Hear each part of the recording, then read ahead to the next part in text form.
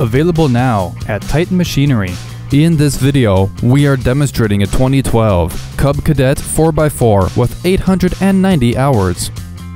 Thank you for viewing this Cub Cadet 4x4. Contact our sales team at Titan Machinery.